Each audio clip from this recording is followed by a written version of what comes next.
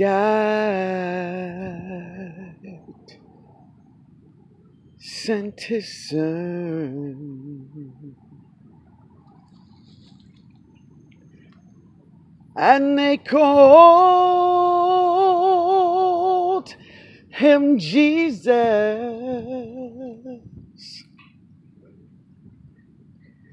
He came to live,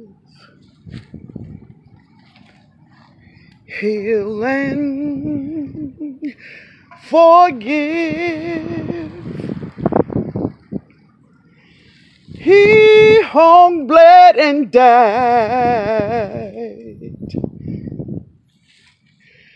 just to buy a,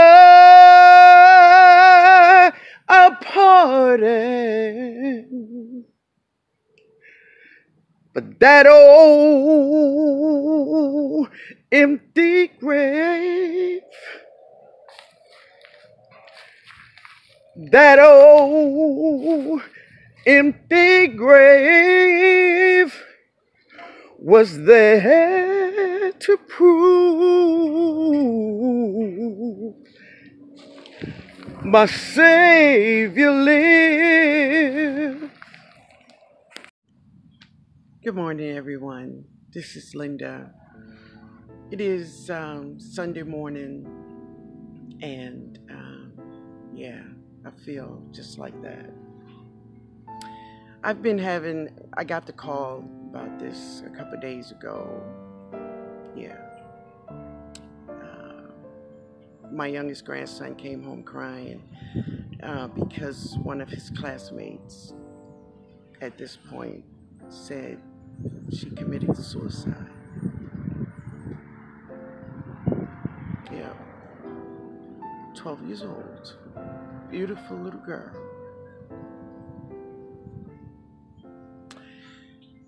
For one to understand, it was from a challenge.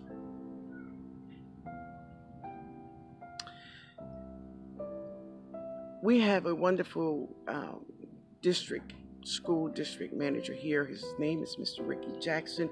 He spoke at the services. One thing he pointed out to parents, whether you are mother or father, grandparent, if your child have a phone, now guys, listen, I have three grandchildren. Jada is the youngest. She's eight. Jada have a phone. Do I think anything wrong with her having a phone? No, I don't. But do I think her phone should be monitored? Yes. There should be a lot of restrictions on that phone. And my daughter does go through those extremes of putting all kinds of restrictions on that phone.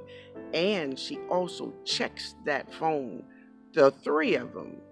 So there is 8, 12, and 16. Yeah, him too. All of them. And she goes into the deleted files. You must go through all that. You must take the time and listen to them when they say something is going on, they want to talk. Don't push them off to someone else.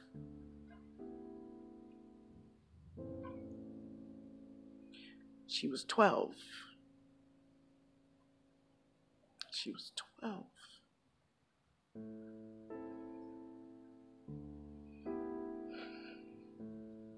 My body aches with emotional pain. So, this is to the saints. If you're strong in Christ, I get it. But remember, a lot of times, He won't come after you, but He will come to that weak link to get to you.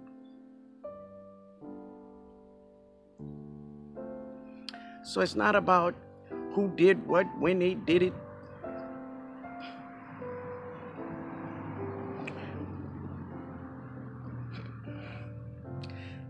Pay attention to your children and check those phones.